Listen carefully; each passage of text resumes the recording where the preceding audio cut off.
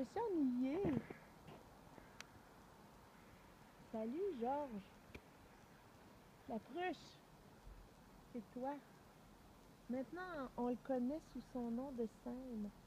Il est sorti de l'anonymat. Je m'inquiétais qu'il n'y ait pas assez de lumière. Puis cet arbre-là, il est comme Marilyn Monroe. il attire la lumière. Il tourne tout son être vers la lumière de façon naturelle. Il a commencé à me parler avant que j'arrive. Il m'a dit que ça prend beaucoup d'humilité pour pouvoir entendre le message des arbres.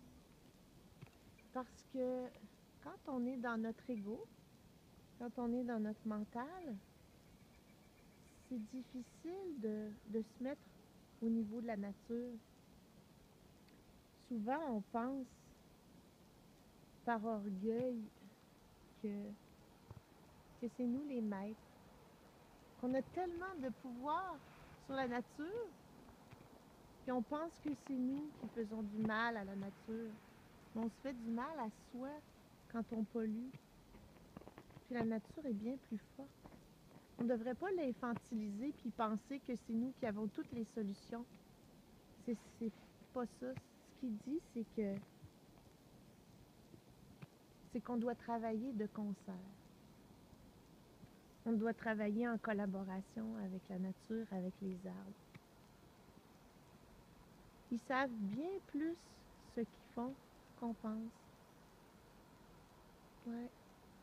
Mais nous, les humains, on a tellement tendance à se taper sur la tête, à se sentir coupable, alors que tout ce qui est demandé ici, c'est d'aller dans son intérieur, d'aller dans son ressenti, puis de voir qu'on est en train juste de vivre le processus en même temps que la nature.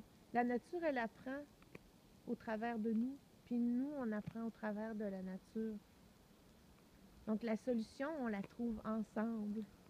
On est en train de la trouver là même. C'est pas la solution avec un grand L. C'est des petites parties de solutions qu'on trouve dans le quotidien, à chaque jour. Puis ça forme une espèce de puzzle, mais même ce puzzle-là est tellement changeant. Il n'y a rien qui est immuable. C'est ça la beauté de la chose. C'est que ça bouge. Ça bouge là-dedans.